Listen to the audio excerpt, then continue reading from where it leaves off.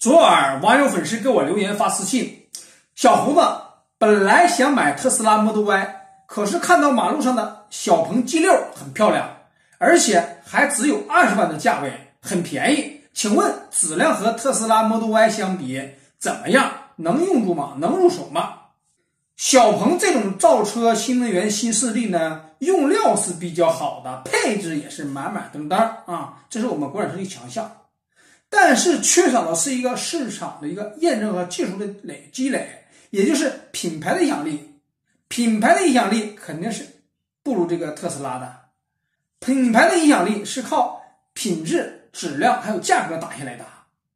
所以说这一点呢，它是不如特斯拉的。那么一说特斯拉，就感觉我是穿了一双耐克名牌鞋，而小鹏则是国产的安踏，就这种感觉。不过只卖二十万的小鹏 G 六，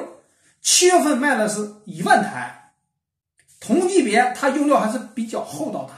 定位一个中型 SUV 跨界车，五座，提供后驱还有四驱两种动力，它的后驱加速是六秒，四驱版本加速是四秒。全系都匹配了日邦空调，配置满满当当，前双叉臂，后面五连杆的悬架啊，和这个特斯拉 Model Y 是一样的悬架，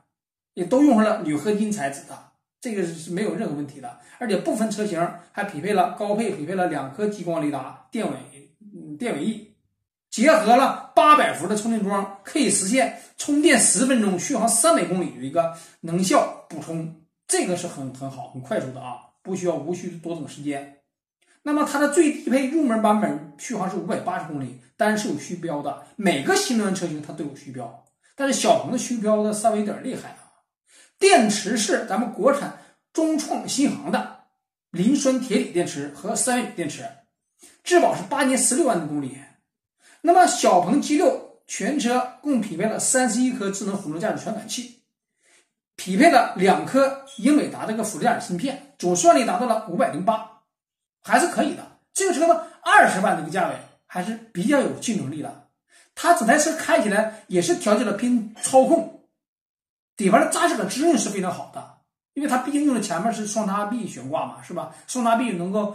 减少刹车点头，能够增加轮胎的一个操控和横向的一个侧倾，所以说悬挂是非常不错，调教的也是不错的。